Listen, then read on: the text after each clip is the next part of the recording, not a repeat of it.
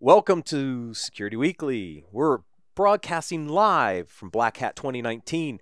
We're in our suite at Mandalay Bay, and joining me for this interview is Ian McShane, Vice President of Product Marketing at Endgame. Welcome, Ian. Hey, man. Thanks for having me again. Always a pleasure. I, I, I, like I said to you when you walked up here, you can just talk. I don't even care what you say. I just want to hear the accent. all right. Well, I can ramble as long as you like. It's all good. awesome you may you're making some interesting announcements this week mm-hmm. around Mac and Linux mm-hmm. support. Uh, give us a quick update, and then I have some interesting questions for you as we, we dig in. what's going? Yeah. well, what's going on with, with cool? Mac I mean, Linux? so we've um, we've just got a, a, release coming out next week, and what we've been focusing on really for the last 18 months is really bringing uh, equality to all operating systems. Right? If you think about where security's come from, mm-hmm. everyone focuses on Windows, on Windows yeah. and that's I mean that's fine, right? That's the the biggest threat landscape but Mac and Linux have kind of been forgotten about, and there's been very little in the way of guidance for organizations that use Macs and Linux. And by the way, that's pretty much every organization. Yeah. I mean, you use a Mac. Yourself. I use a Mac. Use Paul a Mac. uses a, li- is a Linux machine. Right, so, exactly. Yeah. So focusing on Windows as an organization really leaves you with this big visibility gap. So what we've been trying to do at Endgame, starting with our release in January 2018, was really kind of level that playing field. So we shipped our you know machine learning model for Mac OS files, and now we're adding this uh, capability to do what we call reflex, which is uh, rule creation mm. at the endpoint, so you can start to define what's acceptable and unacceptable, not just on Windows but on Mac OS and Linux as well. Got it. Because if you think about the your solution kind of spans multiple pieces, mm-hmm. right? You've got the kind of the prevention component, you got detection and response, et cetera. And I, th- as a Mac user, mm-hmm. right, I go out and I look for antivirus for the Mac. Mm-hmm. Where does everybody go, mm-hmm. right? There, there's like one solution that's kind of yeah. I'm not going to them. no, I'm, I'm not either. I'm, to be fair to you, but th- you don't have many choices, mm-hmm. right? And then you think about detection and response capabilities on the Mac, and you're like, what I what actually works mm-hmm. there? How would I do that? Yeah. So when you think about so all the protections now that are in the Endgame Windows capability are now fully available on Macs, Mac and Linux with this release? Almost. I mean, let me let me be clear. Right, the threat model in, in Mac OS and Linux is different to Windows, so we're not yeah. doing exactly the same thing. Right, right, right. But the, the real the, re, the real key concept is for investigations, for visibility, mm-hmm. for containment. That's the big one. Right. Right. You can do that across any any platform. One-click containment. If you're starting to investigate an alert or an incident, doesn't matter if it's Windows, doesn't matter if it's Mac OS or Linux. Click a button, contain that endpoint, and actually do the investigation yourself. Mm. Whereas if you don't have that integration into your platform, maybe you're using I don't know something like Jamf to manage your Macs. Right. So you're having to pivot into another system, right. do some investigation work there, and then match up with the other traffic that maybe you're seeing. And I mean, yeah. we've got a great demo, and I don't mean to you know hawk our demo station here at Black Hat, but really, you should come and see our demo where we, we're showing some of the really interesting work that the attackers are doing on Mac OS. We've mm. got a demo that shows some of the, the APT groups that are using Mac OS as an attack platform. Oh, it's interesting because we always think about Windows being the attack platform, mm-hmm. right? And and so everybody goes after Windows 1st but mm-hmm. you also all the tools are on mm-hmm. Windows yeah. now. What are some of the nuances and differences when you had to build the solution? Mm-hmm. Um, you know, you got PowerShell on, on Windows. What what changes when you move to Mac yeah. in in Linux based systems? Yeah, so one of the key things we did at Endgame is that we didn't want to trust Windows at all. So we like hook into the kernel to get the information, to get the data that we use to create events, to create our investigation mm-hmm. When it comes to Linux, you don't really want to be mucking around with the kernel too much. And you don't want to deal with glibc. Come on, seriously, right?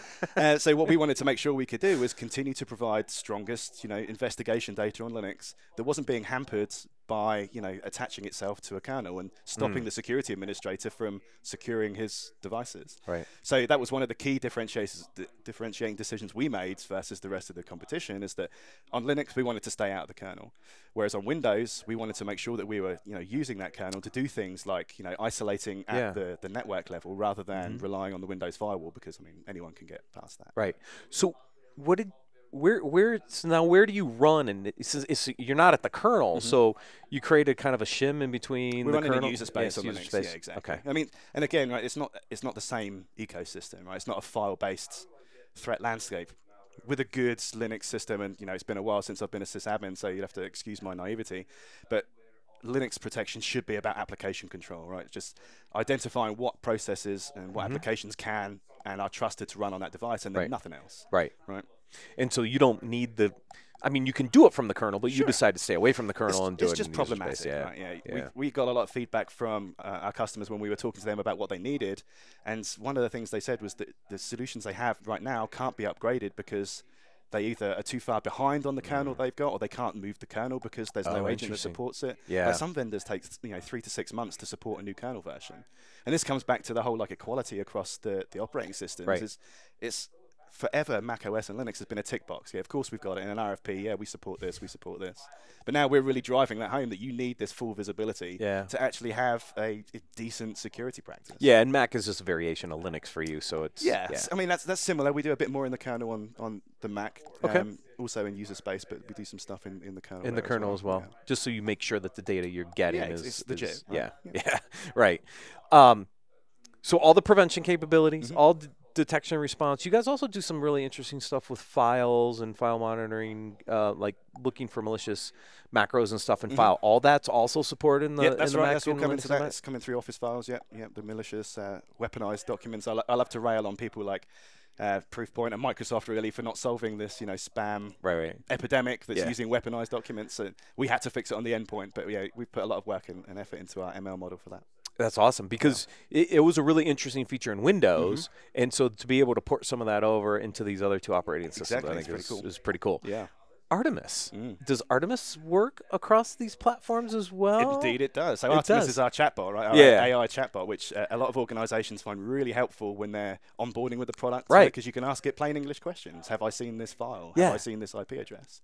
Um, so yeah, I mean, and again, we don't care what the operating system is. We're going to look at every available piece of data that we have for you, and hopefully, you know, collecting data from Linux, from your Mac OS. Artemis just sees a bunch of endpoints and says, "Here's what I've seen. Here's what I know." That's great. So, I, I mean, obviously, you had to make sure you normalized all your data across the different Sure, OSs. So, yeah. Mm-hmm. when you ask Artemis a question, it knows how to go get the data and return it in a consistent way. exactly. I mean, that was obviously part of the engineering fun Sure. behind the scenes. Yeah, But I mean, some of the response actions are slightly different, but you know, that's that's how it works across multiple platforms. But we were, just wanted to have this consistent user experience. That was the big thing. Right, and I, and I think that's important, Mm-hmm. right? As we think about solutions out there, you don't want three different solutions to do your endpoint security. Just like people don't want three different systems to do their patching, for Mhm. Yeah, example, exactly, right? yeah. And when you have a mixed environment where you have Windows, Mac, and Linux in the environment, that's what a lot of people have to fall to is Mm-hmm. is two or three different solutions to manage these environments.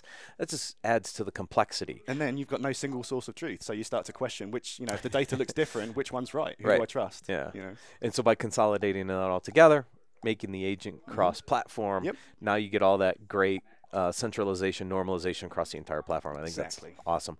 So people here at Black Hat, you want w- booth number? Where where should they go to check out the demo of the new capabilities? It's booth 1253. Um, you should. do- It's in the shoreline. It's either it's ocean, oceanside or shoreline. I think it's shoreline. I haven't been down there Stupid yet. I have whatever. no idea. But you can't miss us. We've got like, one of the biggest booths there. It's two stories tall. If you stand there long enough, you'll see a you know 25 foot picture of my face on the video wall. So you can't really miss us. But you should totally come down and check out the demos. We've got some really interesting research going on. awesome. And if you're not at Black Hat, mm-hmm. where should they go to check out the new capabilities? You should definitely go to endgame.com slash demo and we can set you up with a demo and you can walk through and see how you can benefit from all these great advancements yourself. Awesome. Anything else? Well, I got you here. No, I mean, it's great to be here as always. you It's always fun to thanks for the have you. Yeah, we, it. we love it. Thank you so much. Thanks Ian. so much, man. All right, everybody. We'll uh, see you on the other side.